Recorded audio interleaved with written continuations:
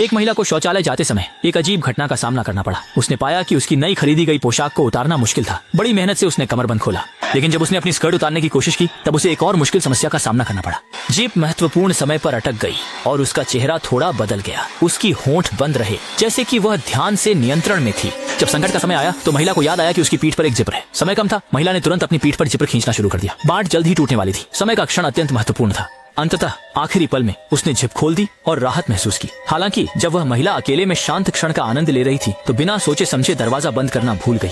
एक आदमी अंदर आया और जो दृश्य उसने देखा, उससे चौंक गया। वह तुरंत पीछे हट गया, लेकिन महिला के चेहरे पर अभी भी सदमे का भाव था।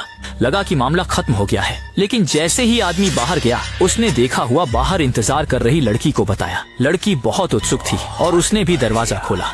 लेकिन इस तरह दोनों ने एक दूसरे की बात काटते हुए कहा कि शायद वे किसी विकृति से मिले थे।